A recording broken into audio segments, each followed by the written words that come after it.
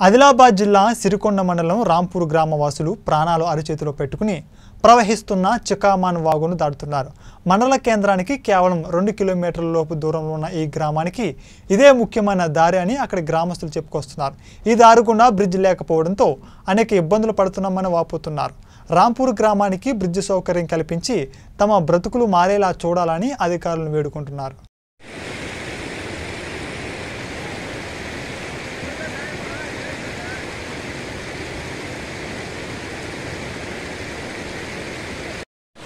మేము సిరికొండ మండలం రాంపూర్ గ్రామ పంచాయతీకి వెళ్ళి కొన్ని సంవత్సరాల నుంచి ఒక ఏడు సంవత్సరాల నుంచి ఈ చిక్మాన్ వాగుకి వెళ్ళి వెళ్ళాలంటే అరి చేతిలో ప్రాణం పెట్టుకొని ఈ చిక్మాన్ వాగుకి వెళ్ళి వెళ్ళాలంటే ఒక రాంపూర్ గ్రామ పంచాయతీకి వెళ్ళి తిరుకొండ రావాలంటే ఒక ఐదు కిలోమీటర్లు.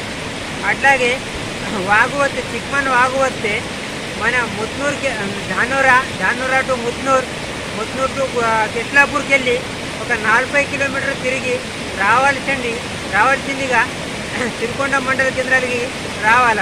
అదేవిధంగా ఏదైనా ఆ, ఇట్లా ఇంకానైనా బోత్ శాసనసభ్యుడు మరియు ఖానాపూర్ శాసనసభ్యుడు మరియు మా గ్రామ పంచాయతీకి వెళ్ళి సిరికొండ మండల కేంద్రంలోకి రావాలంటే ఈ చిక్మన్ వాగు బాగా ప్రాబ్లము